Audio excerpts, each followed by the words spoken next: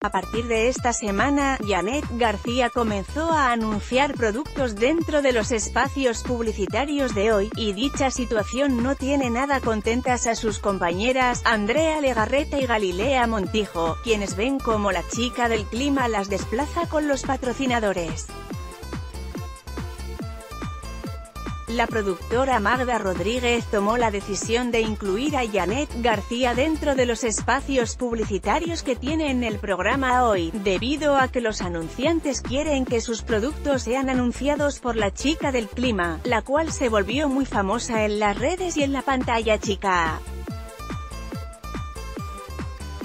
Los patrocinadores de productos de belleza son los más interesados en Janet García, ya que les interesa que su imagen juvenil sea relacionada con su mercancía.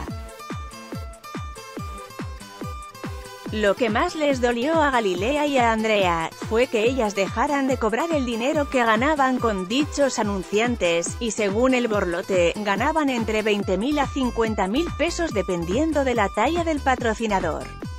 Aunque en un principio Janet García fue contratada como la chica del clima, conforme pasa el tiempo la conductora ha ido tomando mayor relevancia en el matutino a petición del público.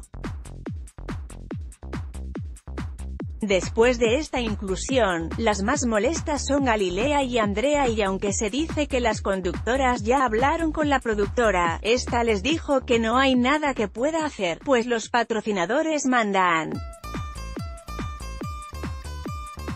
¿Qué opinas? Con información del borlote e Instagram anímate a comentar. Queremos saber tu opinión. Comentarios Powered by Facebook Comments.